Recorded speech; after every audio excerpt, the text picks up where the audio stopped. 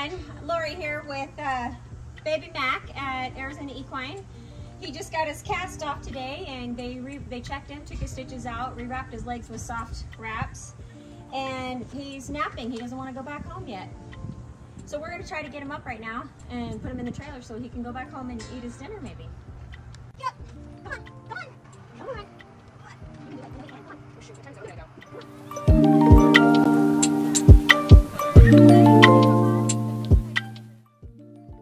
Everyone. Steve Latino here with Wild Horse Ranch Rescue, and we're bringing Mak home. He just got his cast off today, and he is doing amazing.